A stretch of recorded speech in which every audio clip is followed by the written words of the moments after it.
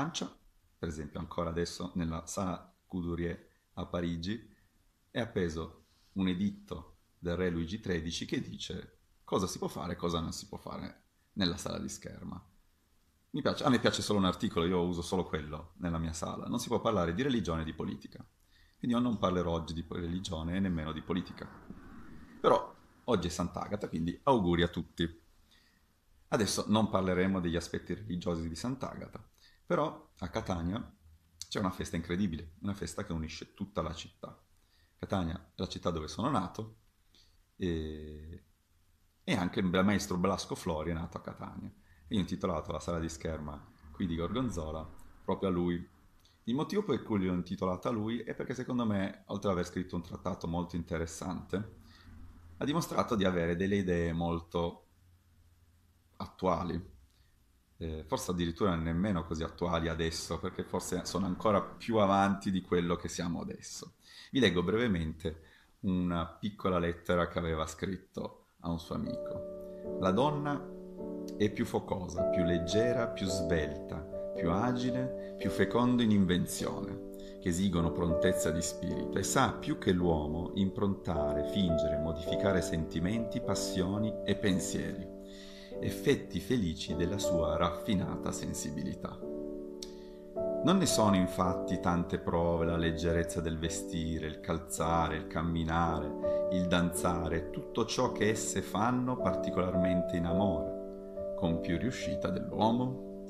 L'attuale nostro sistema di scherma è appoggiato alla leggerezza, alla velocità, alla sveltezza, agli inganni, alla prontezza delle invenzioni e delle risorse. Se ciò è vero, si deve conchiudere che le donne sotto questi rapporti sono più suscettibili che l'uomo di apprendere, di divenire abili nel maneggio della spada e che se non esistono schermitrici, che rare, si deve ciò alla tirannia dell'uomo che, come tante altre cose, si è riservata alla scherma di suo di dritto, lasciando ad esse gli esercizi della debolezza e dell'ozio. Ecco, io credo che se penso al fatto che fino a poco tempo fa le donne non potevano fare sciabola e spada poiché erano armi da duello e non di allenamento come il fioretto, eh, penso che eh, non è che nel 1820 il maestro Blasco Florio fosse un progressista, era un visionario forse, proprio uno, una persona che vedeva non uh, al 48 oppure alla rivoluzione femminile, ma vedeva ancora più avanti. E questo è, è il mio pensiero. Io quindi ho intitolato volentieri la sala di scherma al maestro Blasco Florio perché mi sembrava veramente brillante e moderno.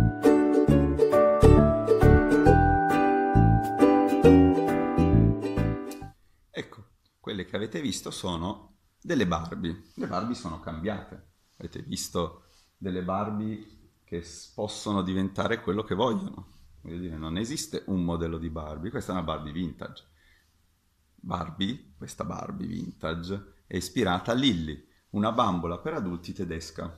Mm, cose strane, vero? Adesso le Barbie sono un po' più moderne, sono... tanto le forme sono cambiate, sono più normali, anche se sono sempre magre, però ce ne sono anche più cicciottelle. Ma quello che è cambiato veramente sono le storie. Cioè, le bambine una volta avevano Biancaneve, poverina Biancaneve era vessata dalla madre, dalla matrigna, addirittura la matrigna la voleva uccidere. I disegni sono bellissimi di questo cartone animato, ben inteso, però la storia non è più un esempio per le bambine. E Biancaneve era una brava ragazza che faceva le pulizie, preparava da mangiare ai sette nani e poi, una volta svenuta, doveva eh, aspettare che un principe la baciasse, eh, perché lo scopo della vita di Biancaneve era quella di sposarsi, cosa che non è assolutamente vera per Elsa. Voglio dire, Elsa è un idolo tra le bambine nessuno più si calcola tanto Biancaneve, poverina, ma perché per fortuna le bambine sono cambiate. Elsa non vuole sposarsi, anzi litiga con la sorella che si innamora del principe Hans, e in un giorno decide che vuole sposarlo, perché anche Anna, poverina, c'ha il mito di Biancaneve, cioè lo scopo di una donna è quello di trovare il vero amore e sposarsi, non c'è altro. E litigano le due bambine, e questa è una cosa che a me piace molto, anche perché poi Elsa fa la sua vita, fa le sue decisioni, tra l'altro Elsa è un personaggio veramente molto interessante, perché ha tutte le debolezze e le insicurezze di un adolescente un adolescente che però ha delle grosse potenzialità e questo è un bel aspetto. Il gelo, il gelo che lei riesce a generare è, è, è, è letterale, no? nel senso che forma e sostanza coincidono perfettamente, lo stesso gelo che sente ogni adolescente dentro quando sta crescendo. Eh, però questo gelo gli, le permette di capire le cose un po' più profondamente. Come dire, l'adolescente depresso è Elsa, Elsa, sì, Elsa.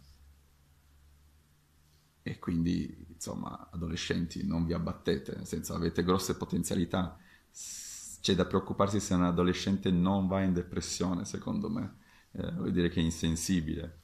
Anna è brillante, mi ricorda tanto Gioia. Gioia e Anna sono praticamente lo stesso attore, hm? la stessa caratteristica e però anche gioia nella sua storia, Inside Out, anche questo è un cartone animato bellissimo e poi scientifico, capisce che senza tristezza non si va da nessuna parte, infatti poi le sfere cambiano colore e anche Anna lo capisce, infatti anziché innamorarsi di un principe nobile, si innamora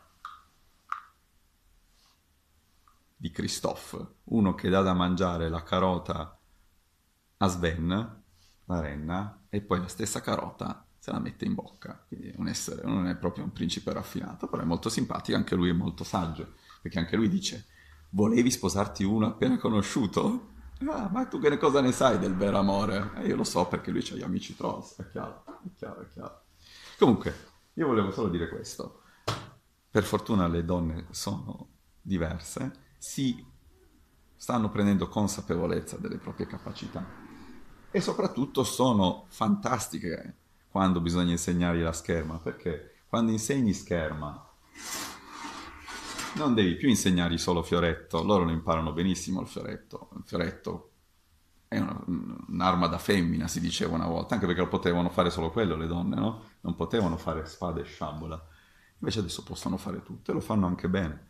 Non hanno la forza fisica di un uomo, ma hanno tutte quelle caratteristiche che ha elencato il maestro Blasco Florio e questo rende l'insegnamento alle donne molto più agevole ai maestri. Insomma, insegnare a una donna dà molta più soddisfazione.